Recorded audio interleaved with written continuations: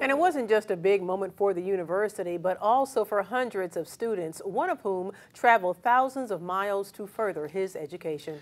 He's a native of Pakistan who received his master's degree. And after he crossed the stage, he spoke with WANE 15's Tony Sandlaven. And Tony, what do you have to share with you? Well, Dirk and Tara, Shahab Ali Shah is thankful that this day has finally arrived. When he was growing up, he didn't walk until he was three and didn't talk until he was four. Still, through his struggles, Shahab Ali Shah says he never stopped trying to pursue his dreams.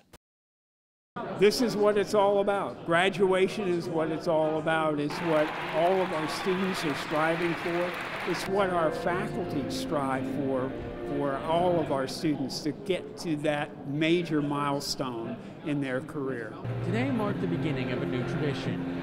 For the first time ever, Purdue University Fort Wayne held its own commencement ceremony. Today also marked the conclusion of a worldwide journey for Shahab Ali Shah.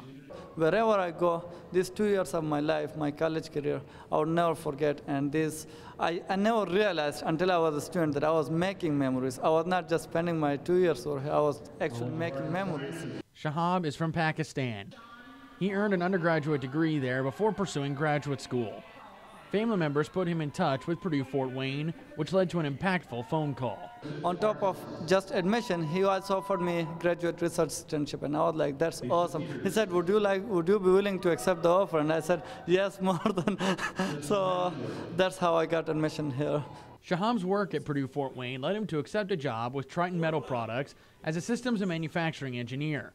His success as a student at PFW has administrators hoping there will be more stories like his. We are looking forward to hosting even more international students on our campus.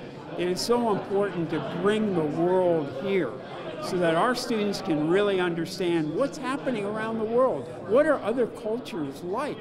And how do we share um, that information and appreciation of what is happening around the world.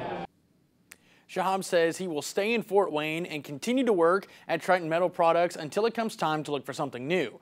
After that, he says, anywhere in the world is a possibility. I'm in Studio 15, Tony Sandlaven, WANE 15 News. A big day for many. Thank you, Tony.